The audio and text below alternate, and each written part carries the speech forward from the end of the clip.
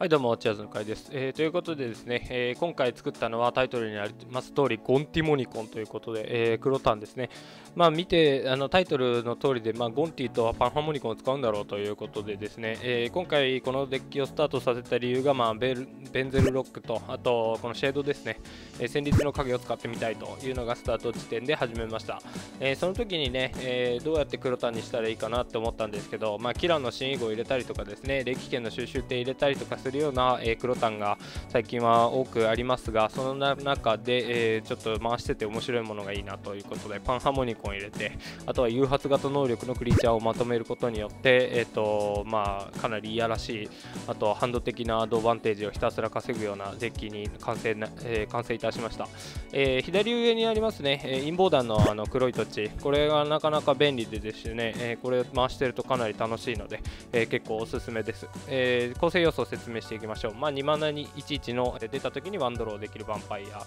えー、カスメドリですね。これハンデスも、えー、内包してるんですけど、パンハモニコンでね、え、2枚取ることができますから、必然的にこいつに除去を打たないといけないような状況を作っていきます。え、こいつが、え、次がですね、あの、誘発型能力で出た時にマイナス1カウンターを置く、え、生物22で、えー、サクった場合ね、マイナスカウンターが乗ってる生物を一体破壊することができるということで、えー、なかなか便利な誘発能力。えーと、パンハモニコンがね、えー、複数枚置いてあれば、えー、2個カウンターを受けたり、3個カウンターを受けたりしますんで、えー、こいつも除去として観察することができます。えー、今回使いたかった、えー、戦慄の影ですね、えー。それに4マナ駅がパンハモニコン、それとゴンティ、えー、あとはチパカブラですね。これがもう唯一の状況ですので、えー、この子にどれだけ頑張ってもらえるか。えー、最後が僕が使いたかったベンゼルロック。まあ、あのパンハーモニコンでこいつも能力が誘発してしまうので、あの死ぬんじゃないかなっていう場面がたまにあるんですけども、それでもやっぱりあのフライングロック66マナで、えーと、この能力はかなりあの使っていてね、やっぱりあの迫力があるので、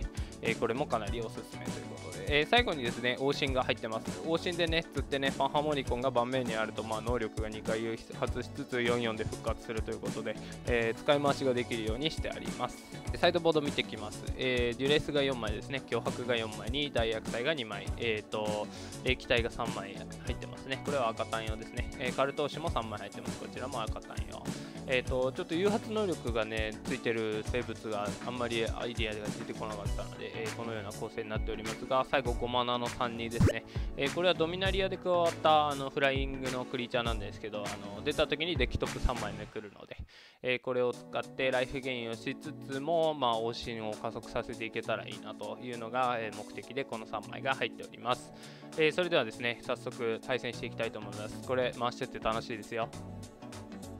はい、それではね、早速始めていきたいと思います。あのタイトルにある通りね、えー、最初の名前はね、オーパンティっていう、えー、クソふざけた名前つけてたんですけど、ちょっといろいろな、あの、一人でね、この音声を撮ってる時に、一人でオーパンティ、オーパンティって言いながら撮ってるの、ちょっと相当やばいなと思って、えー、却下して、ゴンティモニコンって名前がついてます。はい、ゲームは進んでおりますね。えー、っと、こっちはヴァンパイアからいきましょう。あの、一応余談なんですけど、あの、本当にね、いいマッチが取れて、1本、あの、相手青白だったんですけど、あのパンハーモニコン置いてゴンティ誘発させて相手のライラ取ってみたいなのを取ったんですけどね。で本当に3本目まで行ってめちゃくちゃ熱かったんですけどちょっとゴンティを誘発させすぎたせいでですね最後の最後に相手に接続を切られてしまいましてあえなくお蔵入りという、えー、結果になってるものも1本動画があります。ちょっとねあれ本当勘弁してほしかったですね、えー、ということでですね、え今のハンドはパンハモ、パンハモ、ゴンティ、チュパカブラ、ギフト、ギフトで相手が JS 着地、えー、ここからキラーの新囲号で無限ドローが始まるという、えー、状況が簡単に見えておりますが、え僕の方はですね見事に土地が詰まっておりますので、えこのまま5ターン殴り殺される可能性が極めて高いという状況でございます。はい、もらって15。これね、あのブロックできないですよね、実際、あのカスメドリはね。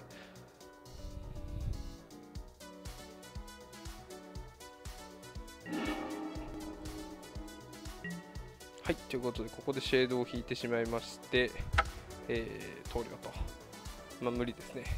このままだと、ただただと疲れるだけなので。えー、というわけで、サイドボードです。まあ、あの相手のね、あのデッキ、とりあえずあのデュレスして1枚見れてるんで、えー、そのおかげで、えー、こっちはプランができるかなと。えー、パンハモニコン1枚減らして、えーと、シェード、シェードを減らしてるのか？シェードじゃないだろ。えー、パンハモニコンとシェードと、えー、あとサマノのですねマイナー1カウンター1個乗っけるあの彼女を1枚、えー、戻してデュレスを3枚搭載してますまああの気づいたんでしょうね。キランの新以号に対するなあの術が一切ないということに私は。はいというわけでね、えー、2本目スタートしていきます、えー、初手はですねデュレス、チュパカブラ、えー、ゴンティがいるのでこれでキップですね。まあ一応土地が確定してますのでこれでいきましょう、えー、僕はデュレスはねあの1ターンに1ターン目に結構打たない派の人間なんであのアクションがある直前のターンまでギリギリ打たない派ですね。えー、ここでデュレス。まあ、キラーのシーンが相手の後手で出てきたら嫌なんで、一応デュレス打ちました。えー、何も取れず。まあ、デュレスね、入れたんですけど、取れないかもなと思って入れせるんで、まあ、これはよしとしましょう。あれ、デュレス派と脅迫派って言いますよね。皆さんどちら派ですか？僕はデュレス派です。脅迫っていう人もね、いますよね。はい、えー、もらって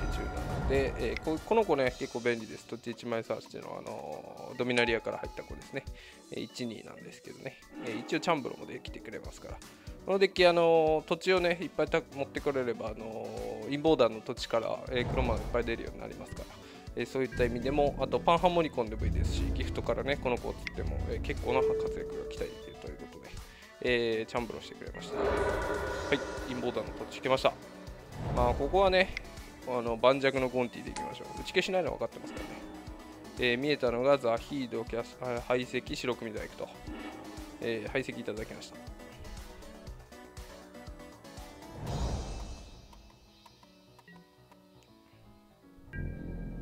さあさあ、えー、これは3に殴ってきたらチャンブラするかな。まあ、ゴンティ交換しといてね、えー、伝説なんで地味に使いづらいところありますからえー、ここはキャパシェンが出てくる。相手のハンド見ててキャパシェンがいることが分かってるので排斥構えて返しましょう。あのー、キャパシェンでねあのなんていうんですか？ひたすらあのライラとかが俊足を持ってたりとかカーンとか出てきたりとかですね。ウルザの殲滅さ打たれて一度めちゃくちゃ信任されたことあってそこからキャパシェンに対するヘイトは結構高めですね。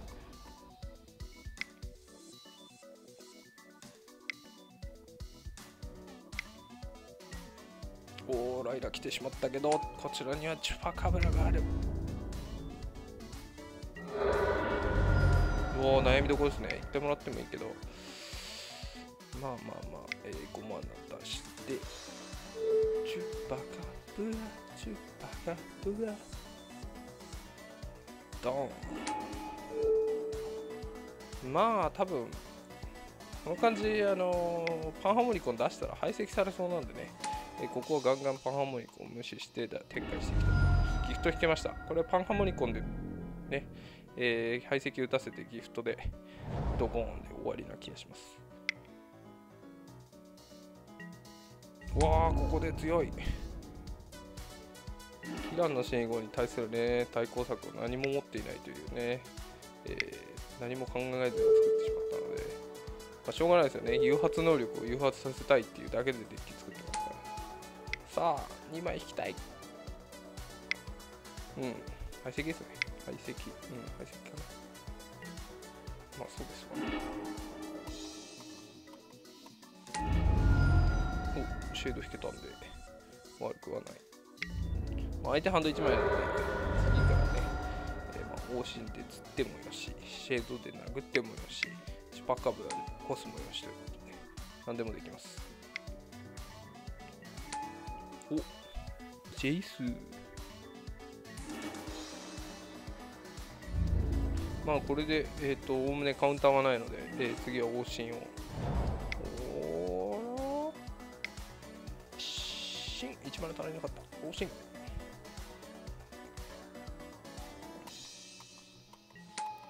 なんで白組細工入ってんですかねあえてね。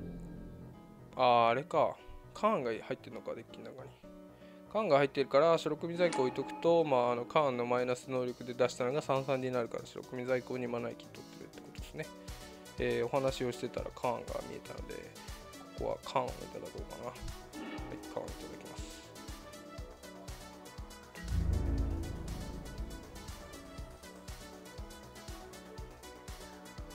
ここはジェイスに全力パンチまあえっ、ー、と多分キランの C 号がアクティブされてえー、交換するかな。はいそうですね。で2 2をブロック。お。お。おお2 2盤面に残っちゃうから、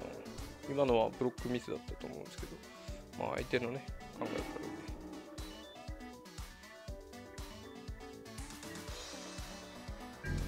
さあキランの信号が僕のとどめを刺すのが先か。それとも僕の往診が誘発しまくるのが先かという状況になってます。えー、あれですね。あの残骸の漂着嫌なんでまずかすめ取っておきます。かすめ取る。カーンですね。まあかすめ取りますけど。これで相手のデッキめちゃくちゃ金かかってますね。えー、嫌がられて、そうですね、まあ、追放するでしょう。はい、追放されて、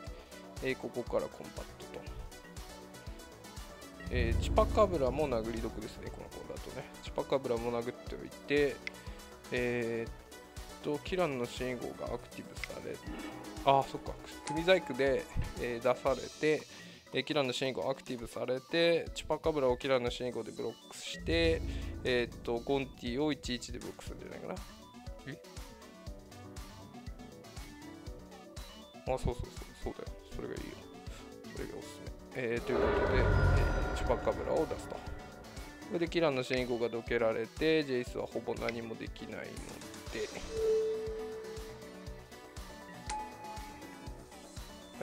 おまけにシェードもいきますかほら次からとんでもないパンチ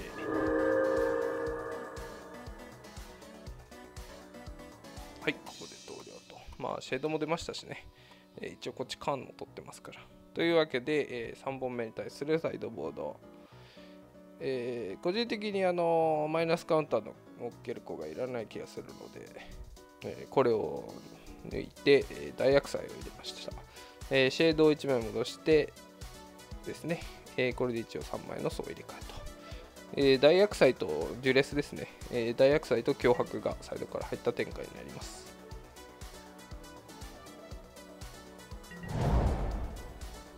ょっと今気づいちゃったんですけど、あれですね、画面が若干ずれてる。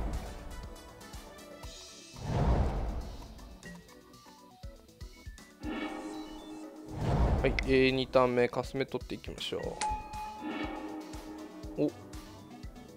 おおギデオンが嫌なんでギデオンにしましょうかね。結構あれですね。この青白は金がかかってるというか青白伝説で全ての領域にあれがプレインズオーバーを持ってるはいえー、かすめ取ったのがギデオンで次の会心出されるのが嫌なんで殴りたくないですね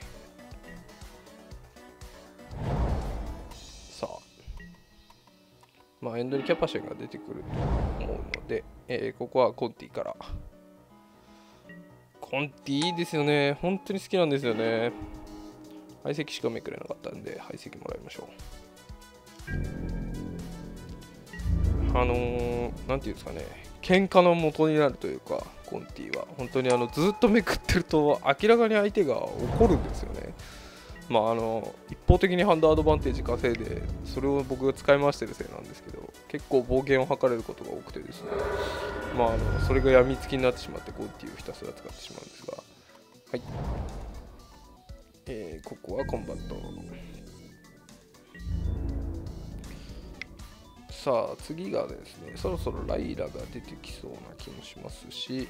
あと相手がねあのーアーティファクトとエンチャントを exile でで追放できるカードを3マナのインスタント持ってるので、えー、それをねサイクリングしてくれるまではこっちは往診は出さないという戦法でいきたいと思います、えー、チパカブラでキャパシェンを除去で次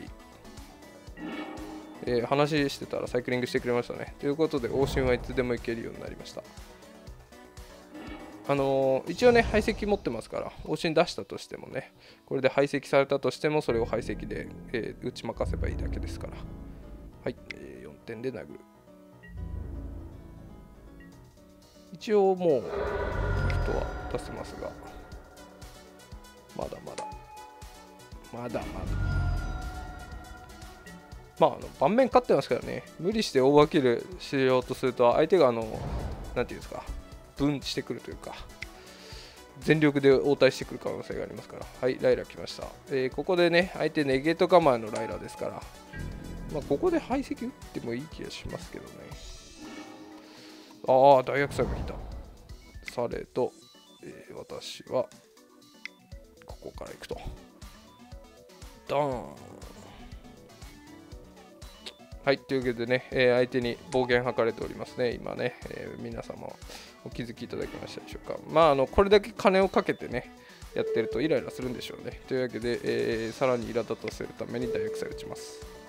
はい、えー、ネゲートネゲートザヒードでザヒードを捨てさせますね。もうあとはもうガンガン殴ってよしですから。たとえカスベドリがね、取られてギデオン帰ったとしても排斥ありますし。はい、というわけで、えー、勝ちました。というわけでね、えー、いかがでしたでしょうか？あのー、結構ね、あの本当に回してて楽しいデッキでして、えー、と最後のみたいにね、相手に結構暴言を吐かれることが多々ありますけれども、それでも、あのやっぱり楽しいデッキなので、えー、ぜひともね、皆様にもちょっとこれブラッシュアップする案が結構ありますので、え僕としてはね、このシェードをやっぱり使っていきたいっていうのがあって、えスタートしてますけれども、あの誘発能力のね、あの3マナの土地持ってこれることかもそうですし、あといろいろもう少しブラッシュアップできるんじゃないかなという面も多々ありますので、えー、これをね皆さんで何か手を加えて、え、強化していただけたらなと思います。というわけでね、え、暴言測れますけど、えこの O パンティ元いコンティモニコンおすすめですのでぜひとも皆さんもチャレンジしてみてはいかがでしょうか。それではまた。